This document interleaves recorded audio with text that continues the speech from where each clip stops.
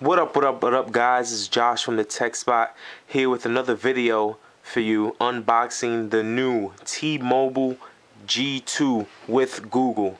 This smartphone just came out and I'm just doing a quick unboxing for you guys.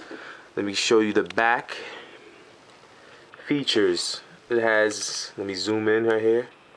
Blazing fast web search, browsing and downloads, touchscreen with unique slide out keyboard design, best of Google Apps preloaded, 5 megapixel camera with LED flash and autofocus, and it captures 720 video capture. Here's what's inside the box the T Mobile G2 with a SIM card and micro SD card, and a battery adapter with the AC adapter and USB cable, and 3.5 millimeter stereo headset, star guide, terms and conditions, blah blah blah. Android by HTC. And let's get to it. Uh, I missed this little thing back here. Get that off.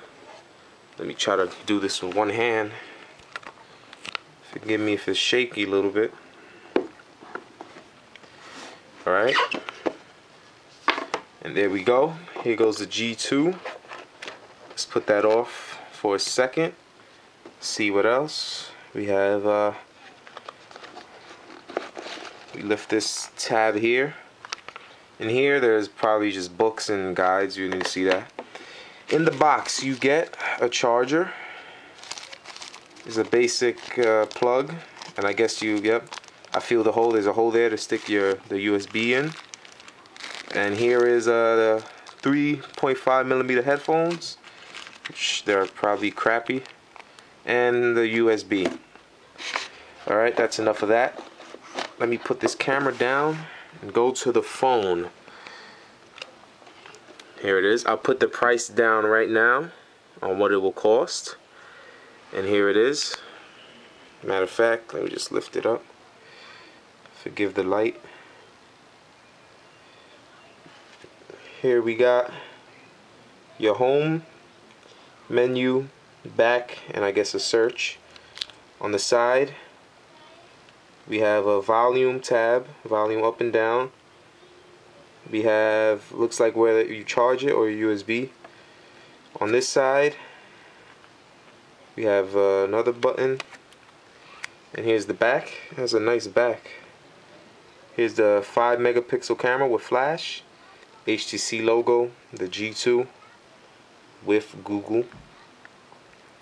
And the top has the power button and the headphone jack. The bottom has nothing. Alright, let me see if I can open this slide out keeper and there we go. It slides out kind of like that. As you can see, it slides out with those springs, uh, whatever those are.